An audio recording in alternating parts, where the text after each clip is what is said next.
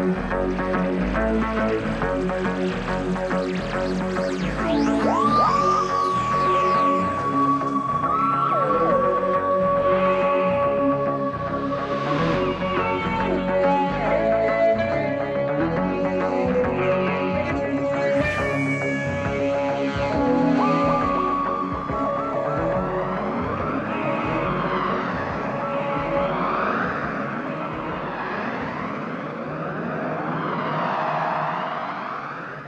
Happy birthday! I said no fuss. You have to celebrate your birthday, Nani.